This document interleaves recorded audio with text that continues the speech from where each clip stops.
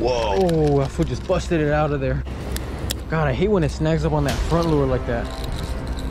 That's all right, that'll just give the, the largie five seconds to reset. Uh, he just respawned. He's probably thinking, if that motherfucker comes back here again, I'm gonna knock him again. I'm up. This time, oh, he missed again? Blind ass fish.